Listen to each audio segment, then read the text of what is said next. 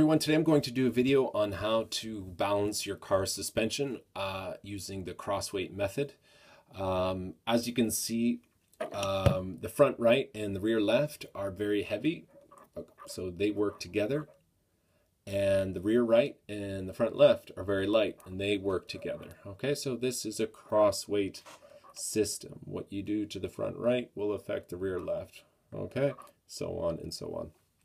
All right, so let's just look at the car here. Now, I made sure that um, my ride height is five millimeters front and rear. And uh, I've taken my digital calipers and I've measured to make sure that the spacing of the collar into the top here is of equal distance. Now, for demonstration purposes, I've adjusted the collars substantially so you can see how the suspension will come back to a 50-50 setup. Right now it is 50-50 front rear, but uh, right to left, it's completely different. So we're going to try to bring that back and I'll show you how to do that.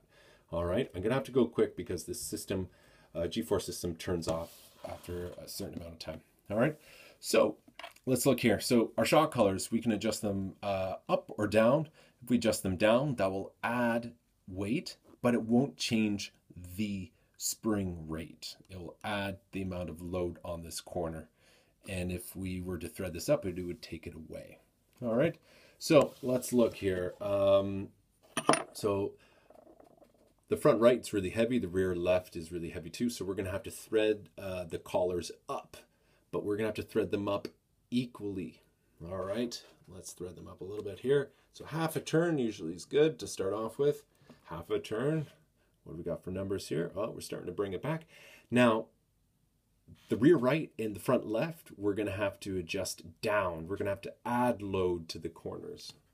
All right, so half a turn there, half a turn there. Check the suspension. We're getting there, very close. All right, so let's adjust the front right and the rear left. All right, we've adjusted them up. Now let's adjust uh, the front left down a little bit and the rear right down a little bit. Let's push the suspension down. We're getting very close. So, you know, 50-50 here, 51-49 there. We're getting very close. Let's adjust up again, up again, down a little bit on those two corners.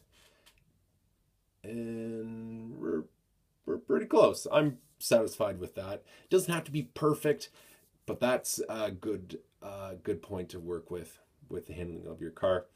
Uh, like I said, this system here might turn off in a couple seconds, but so you can see now I've achieved 50-50 balance using the threaded collars on my car.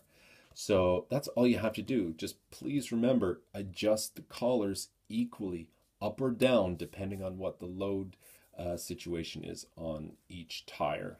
Okay, I hope this video was helpful. If you have any questions, please leave a message on my uh, YouTube channel and I will answer uh, as quickly as possible. Okay, bye-bye.